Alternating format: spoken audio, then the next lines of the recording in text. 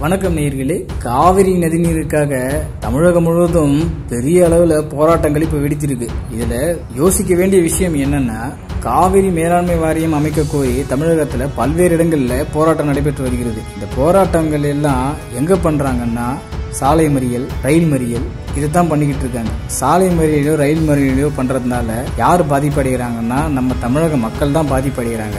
ஏன்னா அதில் பயணம் தெரிவிக்கிற எல்லாருக்குமே டெய்லி வேலைக்கு போயிட்டு வீட்டுக்கு வர சராசரியான குடும்பங்களை சேர்ந்த மக்கள் தான் இதில் பாதிக்கப்படுறாங்க. இந்த காவிரி நதி நீருக்குண்டான விஷயமே திமுக ஆட்சி காலத்தில் தான் இந்த விஷயமே ஸ்டார்ட் ஆச்சு. அப்போ ஆட்சி இருந்த திமுக தான் இதுக்கு முழுக்க முழுக்க காரணம். உண்மையிலேயே போராட்டம் நடத்துறதுண்டா இந்த காவிரி நதிநீரை தாரவாத்து கொடுத்த திமுகவுடைய மினிஸ்டர் திமுக ஆட்சியில் இருந்த அதிகாரிகள் அவங்க வீட்டில் தான் நீங்கள் போய் போராட்டம் பண்ணுமே தவிர ரோட்டில் பப்ளிக் போகிற பஸ்ஸையோ ட்ரெயினையோ மறிச்சு ஒரு யூஸும் கிடையாது. ரயில்வே ஸ்டேஷனில் போராட்டம் பண்ணுறாங்க ரயில்வே ஸ்டேஷனில் ஸ்டேஷன் வாசல்லே உட்காந்துக்கிறாங்க ஸ்டேஷன் வாசல்லே உட்காந்துருந்தா எப்படியா இருந்தாலும் ட்ரெயினை நிறுத்திடுவாங்க அது வேற இல்லாமல் போலீஸ் வந்து தங்களை அந்த இடத்துல இருந்து விலகிடுவாங்கன்ற ஒரு தைரியத்தில் தான் ரயில்வே ஸ்டேஷன் வாசல்லே உட்காந்துக்கிறாங்க ஏன்? ஒரு காலியாக இருக்கிற ஒரு ரயில்வே ட்ராக்ல போயிட்டு உட்காந்து போராட்டம் பண்ணலாமே. அவ்வளோ அக்கறை உள்ளவங்க.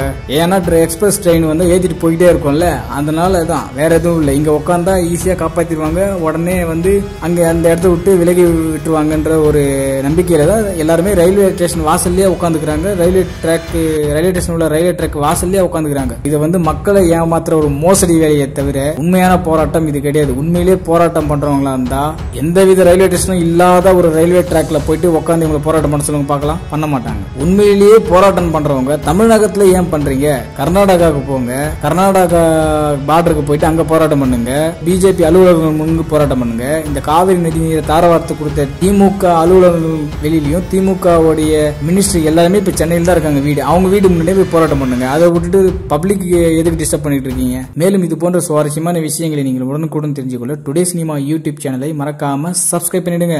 டுடே சினிமா நேர்களுக்கு நன்றி. வணக்கம். Please subscribe to today cinema